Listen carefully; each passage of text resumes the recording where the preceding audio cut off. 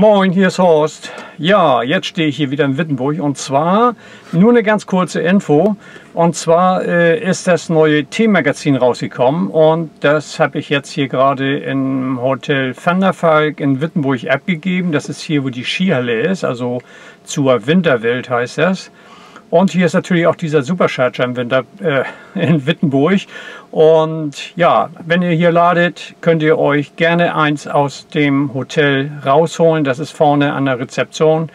Also das war nur so eine kurze Info. Also bis dann und tschüss, euer Horst.